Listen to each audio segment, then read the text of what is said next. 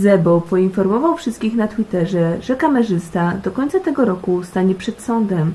Okazuje się, że popularnemu internetowemu twórcy grozi do 8 lat pozbawienia wolności.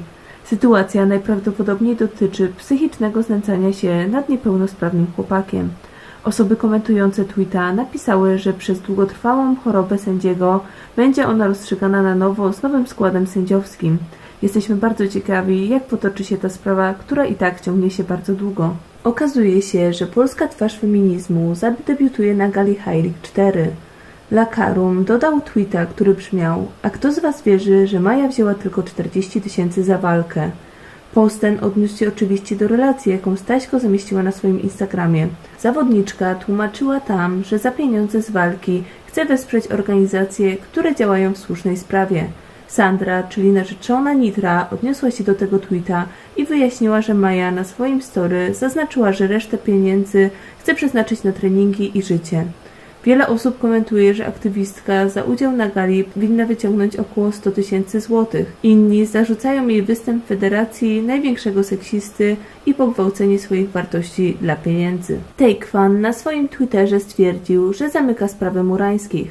Zawodnik napisał: Nie pytajcie mnie więcej o murańskich, temat wyczerpany i zakończony. Dziś odniosłem się do pytań odnośnie Cage i mam dosyć. Czas skupić się na rywalu. Widać, że Rafała męczy ta sytuacja i mocne oskarżenia, które padły w jego stronę. Duża liczba osób odpisała mu, że nie warto się na nich skupiać, a skoncentrować swoją uwagę na Filipie Zabielskim. Inni pisali, że murańscy zauważyli, jakie Tejkwan i Nitro mają wyniki i chcieli coś z tego ugrać. Błoński opublikował prześmiewczego tweeta, który odnosił się do sytuacji, jaka dzieje się aktualnie w ekipie. Kacper napisał, w końcu to ekipa ściąga od Teamu X, a nie na odwrót.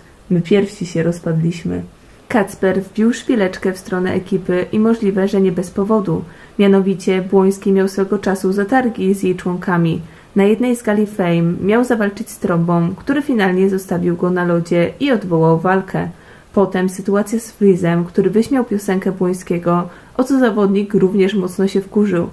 Jesteśmy bardzo ciekawi, czy pojedynek Kacpra z członkiem ekipy Freeza dojdzie do skutku. Na najbliższym cage'u Federacji Fame MMA będziemy mogli zobaczyć osoby związane ze sceną muzyczną. Gośćmi trzeciego już panelu będą Xayo, Sarius oraz Crusher. W przeciwieństwie do reszty, ten panel poprowadzi Boxdel. Podczas aferek wyjaśnił, że zamienił się z Wartęgą, który ma poprowadzić za niego face to face kobiet.